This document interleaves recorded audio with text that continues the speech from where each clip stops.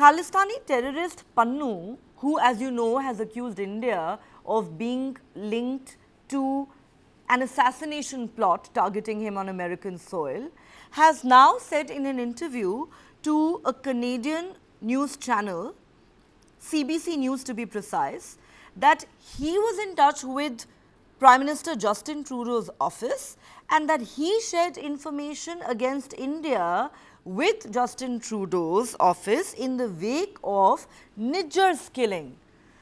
And he talks about some detailed spy network that India has been running in Canada. Now, the, the very fact that a, uh, a man who's been designated as a terrorist by India says he is the one who's been cooperating with Justin Trudeau's office and has been supplying information to him, I don't think it, uh, you know, shows Justin Trudeau in a good light at all. No, particularly when Pannun um, has uh, recently, you know, made the statement or put out something basically saying that India will cease to exist. so uh, I think he's also trying to gain a little self-importance through this because the um, you know evidence which was provided to Canada was apparently from the US uh, through the Five Eyes network. So Pannun is also trying to make hay while the sun shines and uh, get himself more importance by projecting himself. Uh, but clearly, there is um, a political element to the very public stance that Canada has taken, because otherwise it could have all been dealt with in discreet dialogue uh, and through back channels.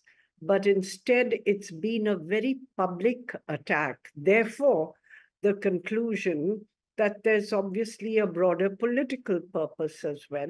And I think it's A, to consolidate minority support for uh, Prime Minister Trudeau, um, and B, he's, you know, there's the commission, uh, Parliamentary Commission on Foreign Interference in uh, Canada's politics, and that was set up really with China in mind.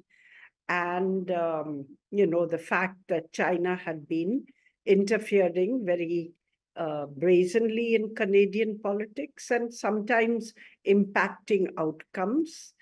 Uh, but I think Prime Minister Trudeau, by bringing this Indian and the in the inquiry, also brought India in through all this, saying that India is the other country which has been interfering and so, in a sense, it diverts from the original focus of this inquiry because China actually supports the Liberal Party.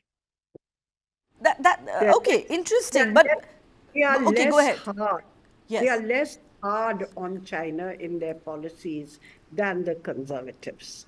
That is such an important point you're making. And, you know, uh, there have been reports suggesting that the Indian government truly believes that, uh, you know, Trudeau's meltdown may have been triggered by this upcoming deposition where he will have to explain how his government failed spectacularly to prevent China from interfering in Canadian elections, in Canadian domestic politics and having a free run in that country. Believe it or not, but China actually runs illegal police stations across Canada. How will Justin Trudeau explain that?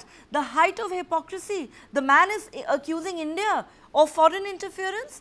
Uh, let me let me take this to Adit Kothari and Dr. Vineet Prakash. Starting with you, Adit.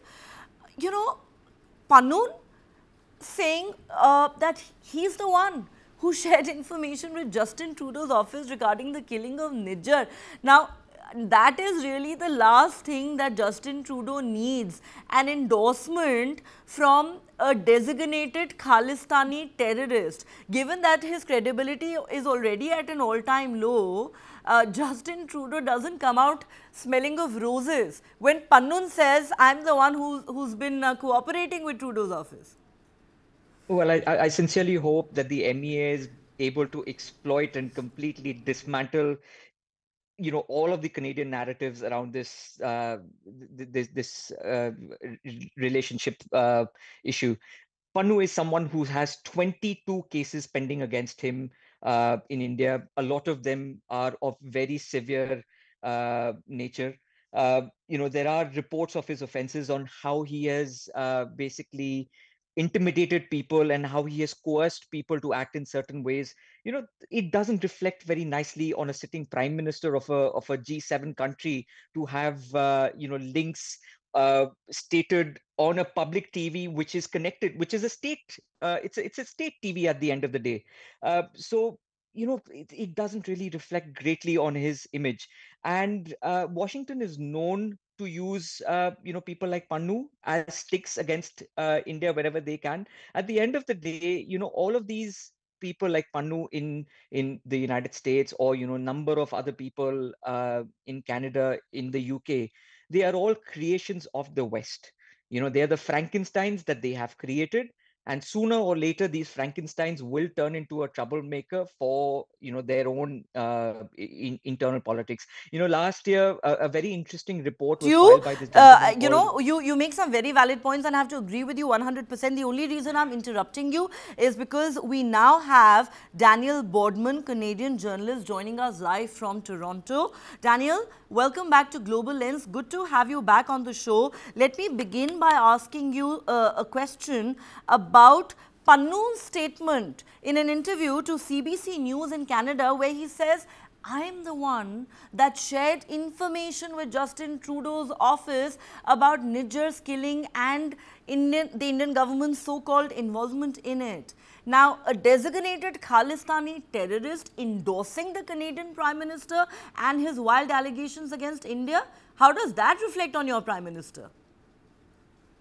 Well, it wouldn't be the first listed terrorist that gave a direct thank you to this sitting liberal government. Remember, um, a couple uh, at the beginning of the war, Hamas sent a personal thank you to uh, the liberals as well. So this isn't uh, groundbreaking uh, on on uh, the Trudeau um, uh, sort of times.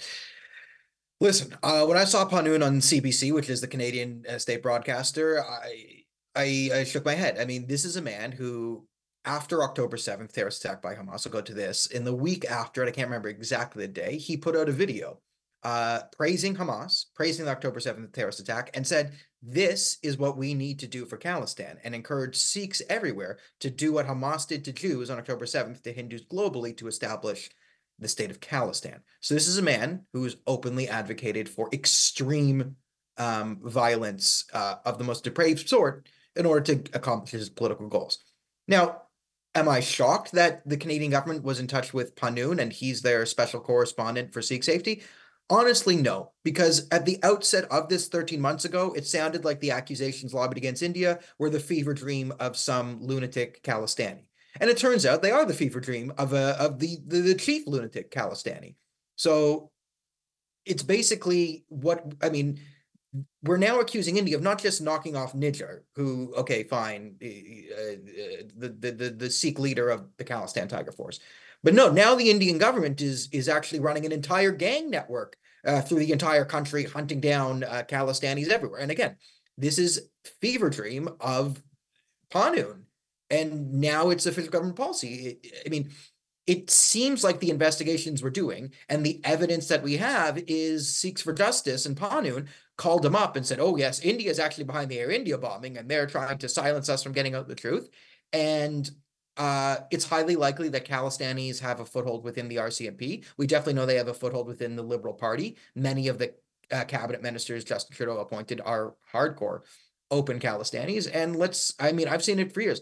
When the RCMP, we're incredibly a foolish country. When the RCMP wants to recruit, um, like let's say a Muslim outreach and wants to recruit from the Muslim community. They go directly to the most radical fundamentalist mosques openly associated with the Muslim Brotherhood, and they go in and they recruit from there. And of course, the, the Muslim Brotherhood's happy with this because they say, oh, yes, yes, yes. And then they suggest which people would be good for the RCMP. So the RCMP recruits Muslim Brotherhood activists to uh, to outreach and and to to give us um, you know views on uh, how to deal with uh, the Islamic community.